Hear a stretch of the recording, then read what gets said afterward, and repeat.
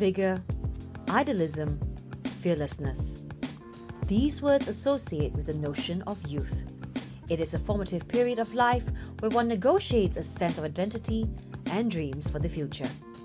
We're Young Once is proudly presented by Art Agenda and is part of Singapore Art Week 2022 and supported by the National Arts Council. It is open to the public from the 8th to the 30th of January at 63 Spottiswoode Park Road. With youth and its various associations as a curatorial framework, We're Young Once is an exhibition that gathers significant early works by Singapore artists across generations. For me, it is a show about the artistic journey and the fact that every artist begins from somewhere. By focusing on this formative period, I hope to propose a new lens to consider Singapore art history, one that upends conventional chronology and is non hierarchical. At its core, We're Young Once explores what it means to be a young artist. I had two criteria for artworks on view. Firstly, they need to be representative examples of the artist's early practice, and secondly, they should also speak to the theme of youth in general. Provenance is an important consideration in my selection process, and each piece points to a significant milestone in the respective artist's career.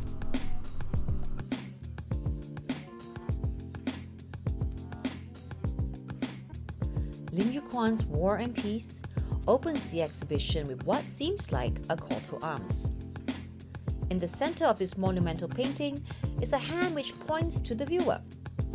There is a traffic light rising from behind, as if to ask, Which direction are you headed? Lim's patchwork of iconography is a snapshot of the global issues of its time. Lim painted War and Peace in 1957 to embed in the painting a sense of urgency and social consciousness, beckoning one to take action at these flashpoints. The hand also features prominently in Amanda Heng's Lost. Executed simply in three primary colours, the impact of its imagery is forceful. Against the bright blue background is a large yellow hand which wields the Chinese ink brush like a knife. The word lost is written in red. The 1980s was a period of systematic change which affected not only the education curriculum but also the civil service at large. The painting expresses Amanda's sense of displacement, even uncertainty for the future. Crucially, Lost was painted in the TAV studios in Lorong Gambas and is one of four oil on canvas works that she's ever painted. In contrast with War and Peace and Lost, Goh Liang Tan's flower paintings stand out for the lack of a Singaporean subject. The floral arrangement floats in a field of colour without a vase. They are strange images that call to mind on 17th century memento mori paintings or impressionist still life works. Yet, they seem to reject the vivid virtuosity of these predecessors and instead teeter towards abstraction in their economy of marks.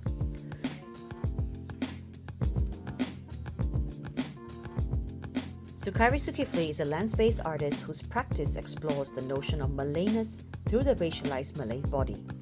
His works Happy Birthday and Youthful provide a layered perspective to the theme of youth.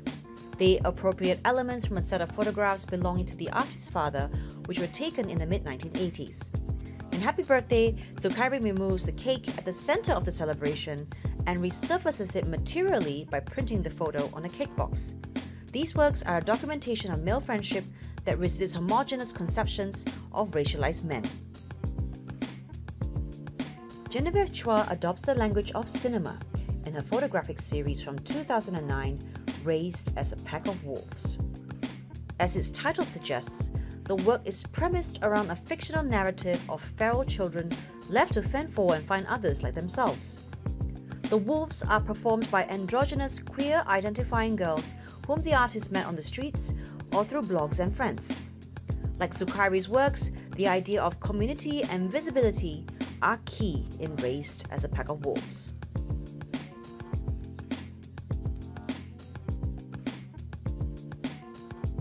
Youths in Balaclava is a design collective and streetwear brand that started when its founders were still in secondary school. Their work is characterized by a self taught DIY aesthetic and underlying commentaries about growing up in Singapore. In the exhibition, there is a set of 10 masks each representing a member of the collective, as well as Twisted Paradise, a terrarium like sculptural display that is a nod to Singapore's geography as an island within a larger archipelago.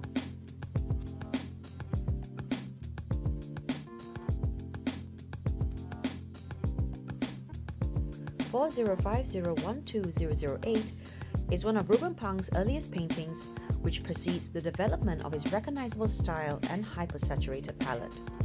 It features a highway marked by harsh streaks of white that cut diagonally across the painting. These sharp horizon lines suggest a sense of velocity in the otherwise moody scene. Wei Cheng Nian belongs to the first suite of Targa paintings exhibited at Ian Tee's debut solo exhibition called Sweet Dreams in 2019. A pair of weathered Converse sneakers are hung off the work as a nod to Vincent van Gogh's 1886 painting, A Pair of Shoes. Ian's sneakers are tied together by their laces and dangle in a manner that recalls the practice of shoe tossing or shoefiti. Though the motivations behind this act is varied, it is generally regarded as a rebellious gesture resulting in the lace shoes hanging off high places such as on power lines, telephone wires, and old trees. Anthony Poon's Kite series is his first major body of painting which began during his studies in the United Kingdom. On view are four kite maquettes made between 1969 and 1971. Their aerodynamic form draws inspiration from the momentous Apollo 11 moon landing in 1969 as well as the motifs on traditional Malay kites. Painted in punchy day-glow colors, Poon's complex tessellation of triangular forms evoke a sense of rhythmic propulsion as the viewer's gaze move in and out of bands of color. This exploration of light and the optical effects of pattern will become a hallmark in Poon's career.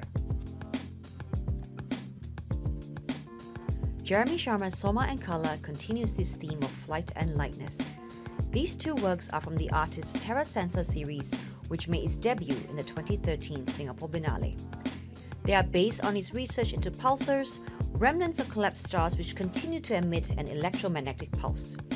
This data is first visualized into a three dimensional model of ridges, peaks, and valleys A computer controlled router will mill into this form out of a block of high density polystyrene foam.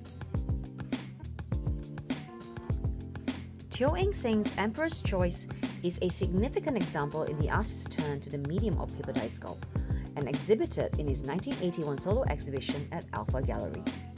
When broken down into a base material, paper pulp becomes an endlessly malleable medium for painting, sculpture, or even installation art. Hence, the work represents a spirit of youthful experimentation and reinvention. On the topic of pulp, Shubigi Rao is more interested in pulp as a verb rather than a noun. To pulp a book is to strip it of its cover and dissolve its contents. The River of Ink is an installation from 2008 consisting of dozens of hand drawn and hand lettered books which are doused in the same black ink used in its creation. Rao describes it as an exercise that emphasizes the futility of preservation in the face of cultural genocide. Presented first in the artist's Master of Fine Arts graduation show in 2008, The River of Ink is a foundational piece in her long term research into the history of book destruction and other forms of oppression.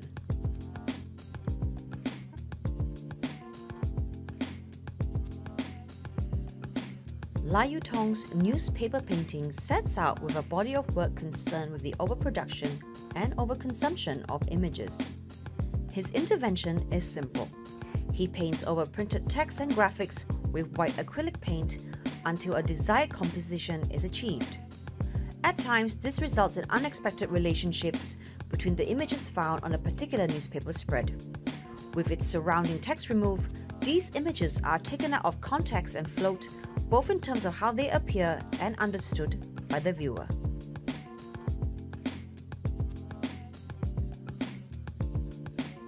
In the work Justin, Song Ming Ang spent three months practicing to replicate Justin Bieber's signature. This arduous process is documented on a stack of practice sheets, which the artist presents through a revolving slide projection. The artist complicates the way we think about value, especially as it relates to authenticity uniqueness, and skill. Sweet Naked Potato is the fourth iteration of Tay Inning's series of naked potato works that began in 2015. Coming from a family which runs a metal fabrication workshop, her decision to use the potato as a subject is one that cheekily blends life and art. Made out of mild steel, which begins to rust once the work is made, these metal potatoes challenges one's expectations about the value of a work of art and its permanence. Ironically, the rustier it becomes, the closer it resembles a real potato. Finally, Tang Da Wu takes this question of value into a broader philosophical discourse. Useless Things is the artist's first important body of work, which he made while studying at Birmingham College in 1971. He taps into his Chinese heritage with a reference to Lao Tzu's Tao Te Ching, chapter 11, which meditates on the idea of emptiness or void. He illustrates this concept by literally filling up the empty spaces in everyday items such as kitchen utensils, ladders, and even the space where one sits in front of a desk, thus rendering them useless things.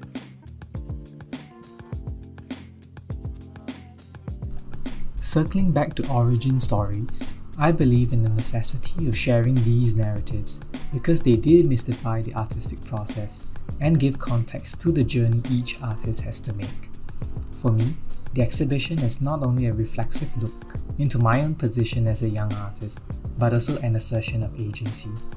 As the curator, I'm conscious of creating a non hierarchical framework because the treatment of artists in intergenerational exhibitions are often unequal. By delving into the provenance of each work, I hope to foreground the lived experience of these artists, their concerns, as well as the networks and conditions in which they operated. It is about honoring these micro narratives and carving out a space to imagine such curatorial possibilities.